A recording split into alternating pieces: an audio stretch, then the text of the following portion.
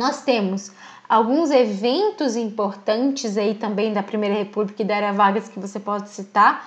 Por exemplo, a questão das doenças, como eu disse, né? até mesmo a participação do Brasil numa pandemia, porque não, não é só o coronavírus na nossa história, nós temos também a gripe espanhola, nós temos a peste bubônica, sim, a peste negra, gente. Nós tivemos problemas com a peste negra no período republicano, tá?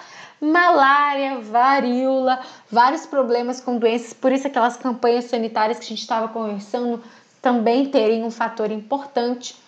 A gente tem a participação na Primeira Guerra Mundial geralmente ela não é muito citada porque são mais questões humanitárias, principalmente com relação à saúde, tá, gente? Então, não tem aí tanta citação com relação à Primeira Guerra, a gente tem mais com relação à Segunda, né, que eu coloquei aí na Era Vargas, e com relação à Segunda Guerra Mundial, a gente pode até mesmo falar da aproximação com os Estados Unidos, por exemplo, né? A gente entra aí na Segunda Guerra basicamente por causa dos Estados Unidos, e a gente vai ter um treinamento por causa dos Estados Unidos, a gente vai ter de fato um exército aí, a primeira vez que um exército brasileiro entra na guerra aí na Segunda Guerra Mundial.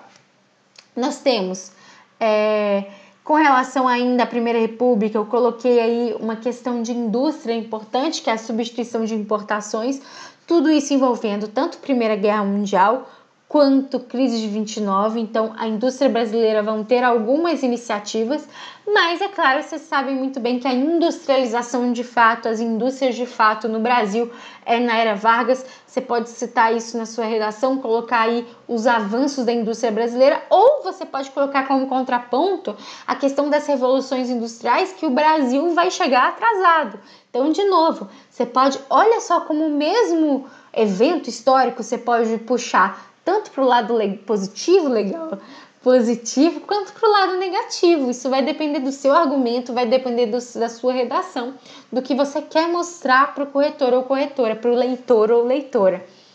Nós temos questões de censura, porque muita gente usa censura e tudo com relação à ditadura militar, mas a censura, Departamento de Imprensa e Propaganda, já existia aí na Era Vargas, no Estado Novo, né?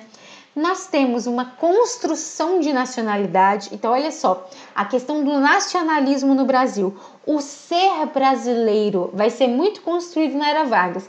No vídeo que eu falo de alusões históricas sobre o período imperial, vou deixar todos linkados, né, que já estão feitos aqui.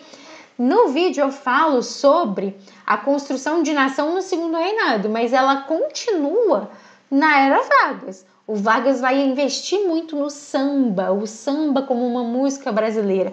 Então, sabe isso de ah, Brasil, samba, carnaval, tanana, tudo isso construído na era Vargas. Ele também vai valorizar muito o trabalho e negar a figura, figura do malandro. Malandro vai ser uma figura aí, é, aquele músico, aquele cara boêmio e tudo mais. Existia muito aí essa essa valorização, dependendo do lugar, né, dessa figura do malandro, do músico, cara famoso, cara legal, cara descolado e tudo, mas o Vargas vai tentar negar ao máximo e vai usar o DIP para isso, vai ter concurso de samba e tudo mais, sempre valorizando a figura do trabalhador e evitando essa figura do malandro. E como eu disse, a participação do Brasil na Segunda Guerra Mundial também vai ser relevante aí ainda mais uma aliança com os Estados Unidos, o Brasil sendo reconhecido aí em outros lugares que, e etc, né?